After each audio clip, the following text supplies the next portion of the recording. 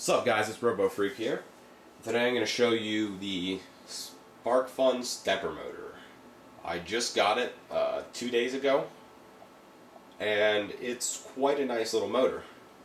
Now I just figured out, or I just perfected the um, control code that allows complete control over the um, shaft down to the, down to a single micro step from the Arduino.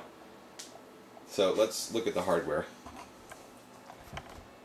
First off, the motor is being powered by a 14.4 volt drill battery.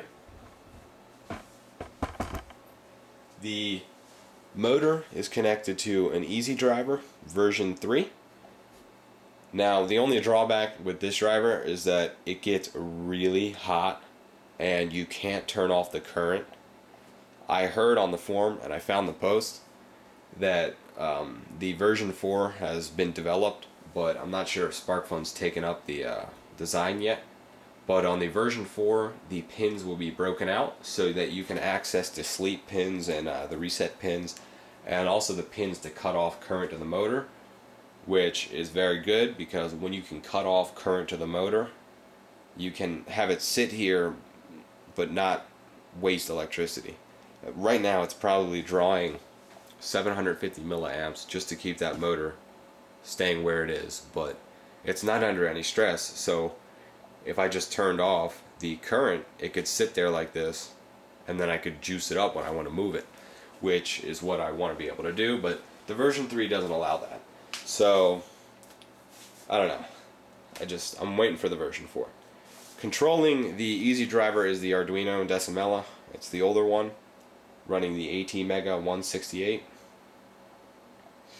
and that's pretty much the hardware part. Uh, if you haven't noticed, the little SparkFun box. Other people are using flags, little pieces of tape on the uh, motor, but I went with the SparkFun box. Looks a little cooler. So, on the computer side, I'm not going to go into too much detail, but it's just a small program that I wrote. It allows, it has a drop down menu and you can go forward or backward for direction. There's a button, and this when you click this button, it'll send the value to the motor, and the Arduino will, uh, well, it'll send the value to the Arduino, and then the Arduino will do whatever it's got to do to power the Easy Driver or make the Easy Driver work. So I've got the little directions down here. The maximum micro step value that you can put in this box up here is 65,535. That is because if you go any higher, the integer value that stores the final value to be used on the Arduino will be overloaded and you'll start getting errors. And then 1600 microsteps is one revolution. That's pretty basic. So let's test it out.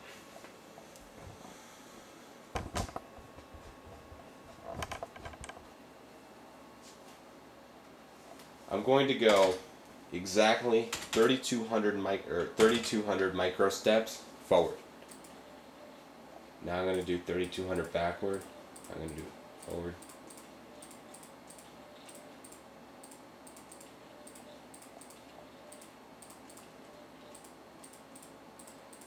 And I can just keep playing with it. It's really fun to control it from the computer.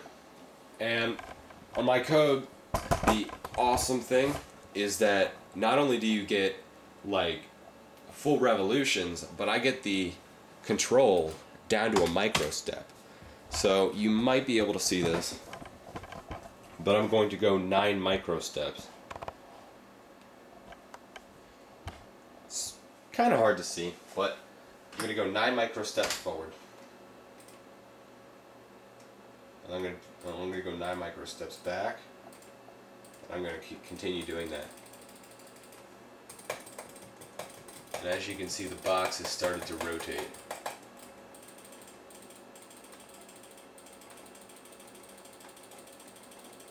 Now, since I'm very close to 10 uh, micro steps, if I click the mouse about 160 times, that box will completely rotate. But I can also go down to one micro step. Now, watch very carefully because this box is going to move pretty slowly. Here it goes. There it goes. It's moving real slow. But one micro step at a time will do that to the motor. Before I had this other really weird program going where I would send serial data like 1600 times a second. Or, no, it was the program would wait for serial data and it would do one micro step and I was sending serial data to do it and it was just a real pain because the motor was vibrating like crazy. So I went with this approach and it works pretty good. Now on the Arduino code side, I don't think this has been done before with this motor. I could be wrong, but I did solve a problem. If you've seen my Arduino Bluetooth uh, tank thing, uh, well, I solved that problem of only having one speed on the servo in this project, which kind of ticks me off because I had taken the robot apart. But I can go view the code on this, and really all this does is gets you know the values to be used right here and ask you, and then it just outputs it on serial. But this isn't where all the magic happens. The magic is on the Arduino. Now I'm gonna post this code online uh, for you guys to use and uh, look at. But the way it works is it gets serial and then it reads the first bit, and this is pretty interesting. But the serial data has to be formatted, and that's why I had to write my own program. Not that you couldn't do this yourself but the program does it for you seamlessly so you don't even notice it's going on in the background. But this first digit is the number of characters in your value and the value is right here 32,000 that would be for 32,000 microsteps which is about 20 revolutions. And the second value is the direction. It's either a 1 or a 2 so the first value you have to figure out how many characters are in the actual value that you're trying to send. And then you put that there, and then you find out the direction, one or two, you put that there, and then you put the value, and then you send it. And the VEX will be able to understand it. But you've got to see the code. I'm not going to go into details because the video will go way over 10 minutes if I try to explain this, and you guys will get really lost. So that's the end of that. And now I'm just going to show you how high I can go. I'm going to go and do 65,535 micro steps right now. I'm going to do it forward. 65, 535. Here we go.